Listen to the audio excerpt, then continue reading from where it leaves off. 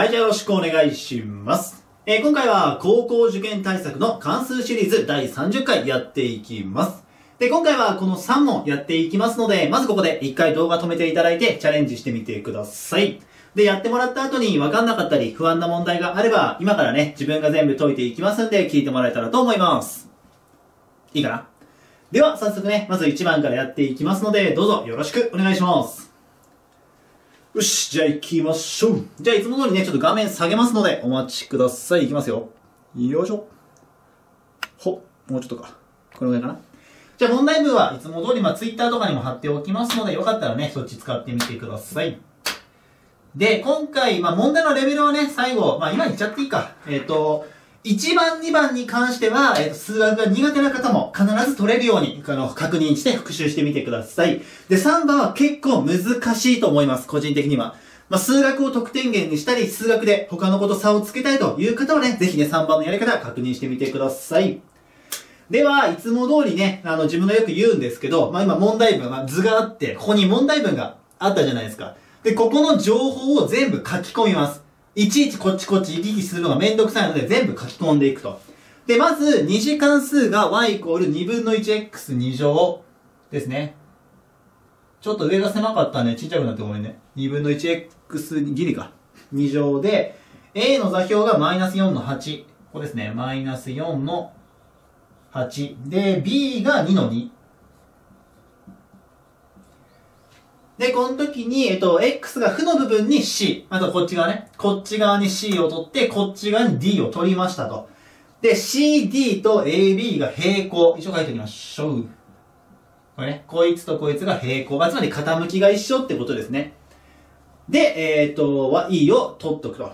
で、1番2点 AB を通る直線の式を求めなさいという問題。で、直線の式求める問題なので、まあ2点、A と B 出てますからね。まあ普通にやっていきましょうと。で、傾きから求めちゃっても構わないんですが、自分、あの、連立方程式で解くのが好きなので、直線って言われたら、y イコール ax プラス b を使うと。まあここもつなげてください。直線を求めるんだったら。じゃあ、a と b が欲しいですよねって。で、それが2点通るところが分かってる。今ね、こことここ。じゃあ、それぞれのマイナス4の8をまず、8とマイナス4を代入してみる。そうすると、8イコールマイナス 4a プラス b。こっちを代入したやつね。で、2の2も通るから代入すると、2イコール 2a プラス b で連立方程式できましたんで、あとはこれを解いていきましょうと。で、これはもう絶対 b が揃ってるんで、引き算してもらえば、えっ、と、マイナス 6a、つまり、a イコールマイナス1。で、これをまあ上か下、好きな方の式に入れてもらって、ちょっとこれ暗算でやっちゃいますけど、b が4になる。だから、y イコール、a がマイナス1、b が4、戻してあげれば、マイナス x プラス4。あの、マイナス 1x にしないようにね。これで終了となります。これがこいつね。この直線の式。ほんとね、2点を通る直線の式。大体この受験とかの問題の時に、まあ、関数の丸1でね、よく出てくる問題なので、ここは確実に取れるようにしてください。で、次が変域ですね。えっ、と、関数がまあそこに書いてありますけど、あって、x の変域、マイナス4から2ですと書いてありますと。で、その時、えっ、と、y の、y の変域を出したいんですけど、ちょっとこの図ね、3番で思いっきり使いたいんで、書き直しますね。で、あと、普段、まあ、変域の問題ね、定期テストとかでも出ると思うんですけど、自分は、えっ、と、まあ、y 軸、x 軸、ありますよね。で、2分の 1x2 乗なんで、まあ、こういう下向きのカーブ。な分かってるから、下向きのカーブは適当に書きます。あんまりこう厳密にならなくて大丈夫です。上と下を間違っちゃダメだけどね。で、あとは、マイナス4から2なので、x がマイナス4。ちょっと、y、あえてね、離れて書きます。で、2は、マイナス4より近いところにあるから、まあ、この辺に2が来ますよね。で、それぞれ打ち上げます、ここから、点々点を。で、ぐるぐるってぶつかったところに巻きますと。で、間の部分をシャーペンで濃く塗りますと。いい説明上ちょっとやりますけど、他の部分消しゴムで消しても構わないです。まあ、そこまでやんなくていいけどね。で、今、このマイナス4から2っていうのは、このシャーペンで黒く塗ったこの部分だけのグラフしか見ないでくださいねって。で、あと y の変域を求めたいんですけど、このグラフの一番高いところと一番低いところの数字使ってねって言ってる。で、一番高いところはどう見てもここですよね。ここ。だから、ここの y 座標を出したいと。じゃあこれどう出すかっていうと、x がマイナス4の時の y なんだよね、ここ。だから、x がマイナス4を代入すればいい。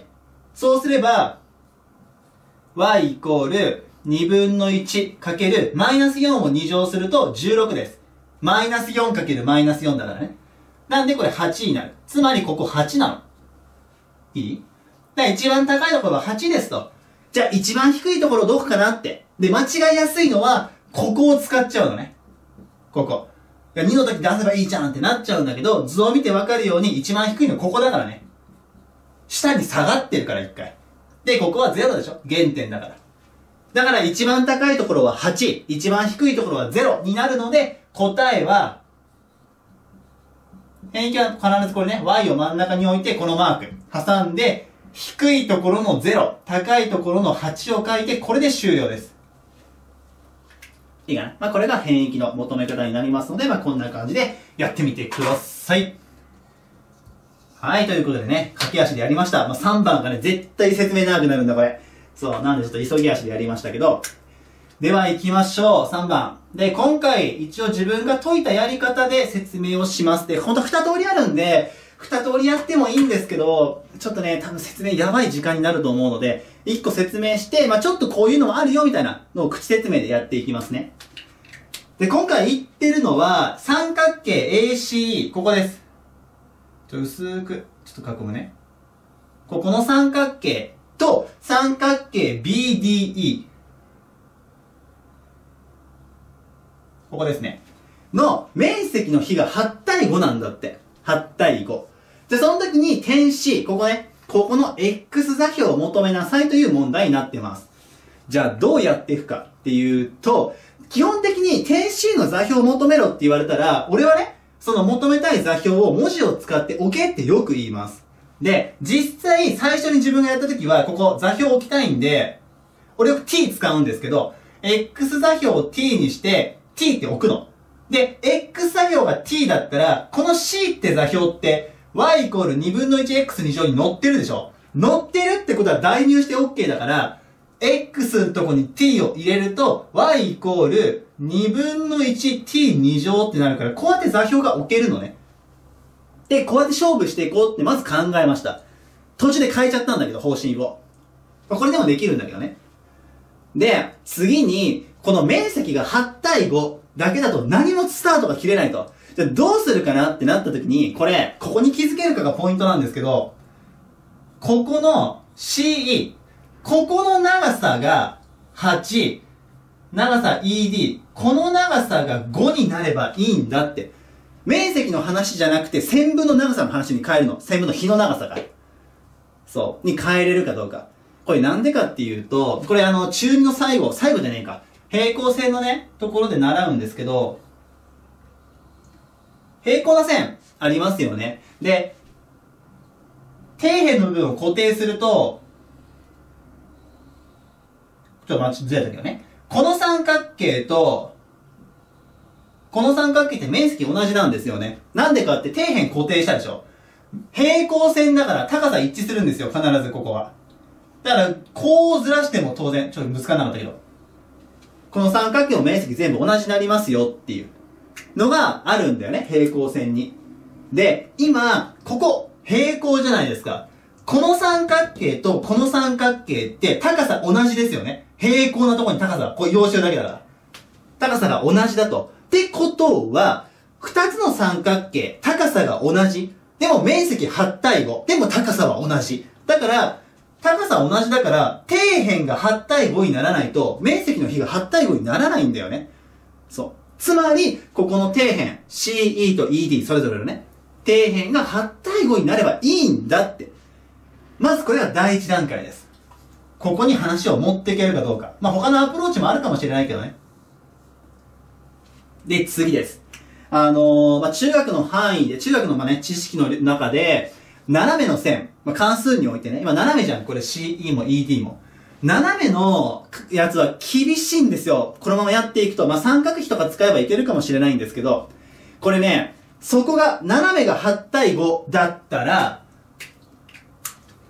この C、ここね、と D あるでしょ？こっから真横に線引いて、ここね。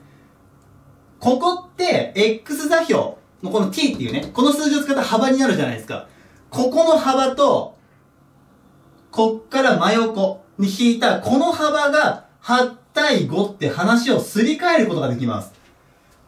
関数において斜めは厳しいの。真横かまっすぐな縦ので攻めた方が絶対に楽です。どの問題でも。なので話をすり替える。で、なんですり替えられるかっていうと、今ね、ね、色がね、ちょっとごちゃごちゃしてごめんなんだけど、今その三角形とこの三角形あるでしょ？両方真横に引いてるから、ここ当然直角ね。直角三角形になってると。で、まあ、直角で角度90、90で同じだし、真横に引いてるから平行なんですよ。まあそこ使わなくてもあれか。体長角一緒だからね、ここね。一緒なんで、これ、掃除なんだよね。二組の角度同じになってるから。掃除だから ごめん。ここが8対5だったら、当然ここも8対5なの。で、ここの縦の部分は8対5になってるんですけど、E の座標を使わなきゃいけなくなるんで、縦はちょっと今回厳しいと。だから4個で攻めます。いいこれが第2段階。いいかい？まずは、えっ、ー、と、面積比だった8対5を底辺の8対5に持ってったと。で、斜めはちょっと厳しいんで、ここの相似の三角形、まあ、ただ単に真横ね、に持ってきて、斜めだった線を真横の8対5に変えましたと。ってやる。で、自分が解いた時はここまで気づいたんで、あ、真横が8対5なんだと。じゃあ、こう置かないで、結局 D を使わなきゃいけないんだよ、この後。座標が必要になるのね。入ってるかな？あー、ちょっと右厳しかったね。ちょっと待ってな。ごめんね。これでギリギリかな？いいね。はい、ということで、まあ、真横になるから、結局、ここに t って置いて、こっちを、まあ、分数使った t で持ってってもいいんですけど、8対5なんで、ここをね、こっちの x 座標を 8t って置いちゃうの。好きな文字を使って結局8倍だから、こっちのが。8、比だから、比だと8と5だからね。で、こっちを 5t って置くの。っていう風に置くことができます。8対5って分かってるから。ある文字を使って 8t と 5t ってかで置けるの、こうやって。同じ文字を使ってね。ただし気をつけなきゃいけないのは、こっちの C の座標って今マイナスって分かってるから、こっちマイナスつけとかなきゃまずい。もしくは、こっちを 8t にして、こっちをマイナス 5t にするか。ただしそうすると、t が負だよっていう条件をつけなきゃいけなくなるんだけど、まあ見た目で分かりやすいように自分はこうやって置いちゃいます。い？マイナス 8t と 5t。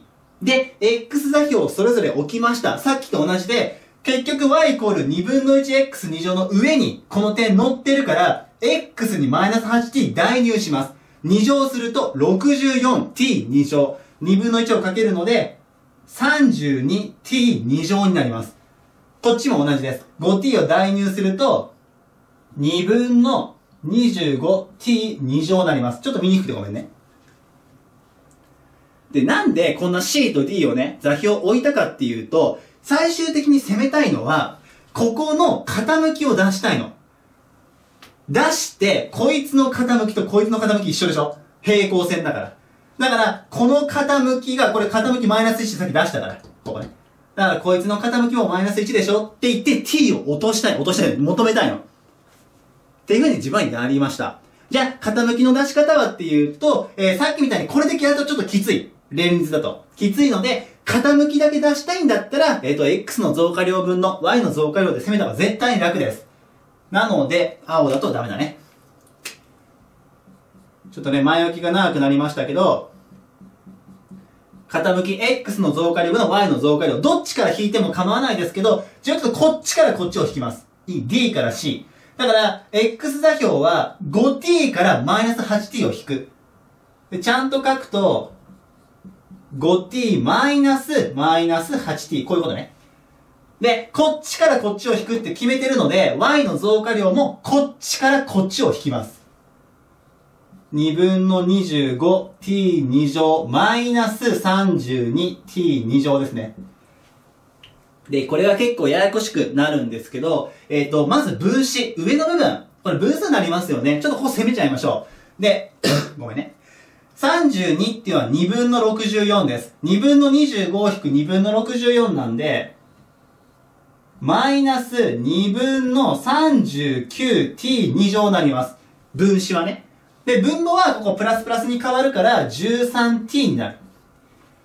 で、分数の中に分数が入ってると、うわーってなりやすいとこなんですけど、結局は、5分の2っていうのは2割5なんですよ。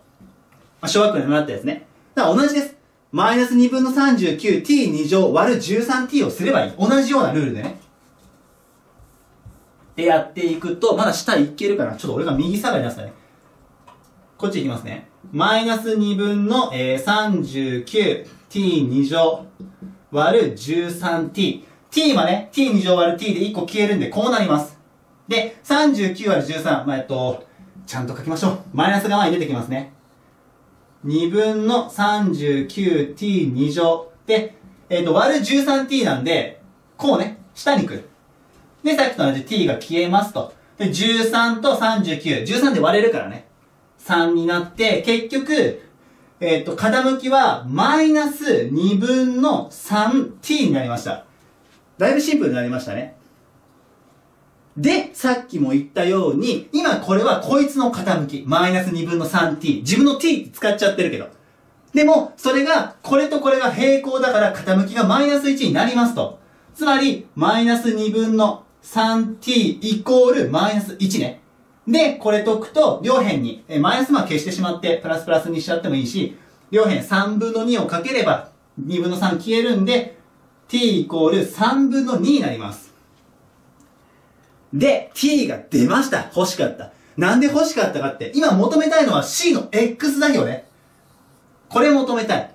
で、ここの t、ね、3分の2も入れてしまえば、結局、x 座標はマイナス8かける3分の2だったので、マイナス3分の16と。これが C の切れてたよ。ちょっと待ってね。調子乗ったね。待って、左側も切れてる？あ、ギリギリか。ごめんな。ここでいいかな？ちょっとまあいいか。待って。マイナス3分の16と、入ってるかな？あ、OK だね。と、これで終了となります。ちょっと見にくいからこれ消しとこうか。はい、というやり方です。まあこれは結構、まあ難しいっていうか気づきにくいところにはなるんですが、まあポイントと復習でね、ポイント言わせてもらうと、まず面積比だったんですけど、平行線のね、面積の関係から、面積は8対5なんだけど、高さ共通だと。同じだから、底辺が8対5ならいいじゃんまで持っていく。でも、斜めの8対5は厳しいんで、こう、水線というか、横にね、真横に引いてって、そこの8対5に変える。真横の線だったら、X 座標の長さがそのまま勝負できるから、だから 8t と 5t って置いた。符号気をつけるけどね。で、それぞれ座標を決めて、傾きが同じで、この問題は落とすと。いった感じでございます。いいかな？あの、途中で一回話しましたけど、ここ、ごめん。ここを t を使って、まあ、マイナスだからさ、マイナス t って置こうがいいんですけど、ここを、マイナス t の2分の 1t2 乗って置いて、8対5だからっつってこっちを座標を置くこともできます。それでも一応解いてみたら答え、マイナス3分の16なったのでできるんですけど、こっちの方が、ここの計算がね、結構楽になります。なので、まあ、今回ね、こっちで紹介させてもらいました。はい、という感じで、今回はね、こんな3問やらせてもらいました。今回の授業はこれで終わります。以上です。ありがとうございました。勉強お疲れ様でした。え今表示されている関連動画や再生リストから別の勉強に飛ぶこともできますので、よかったらそちらもご利用ください。また、チャンネル登録や高評価していただけると励みになりますので、よかったらそちらもよろしくお願いします。では、またね、次回の動画で会いましょう。お疲れ様でした。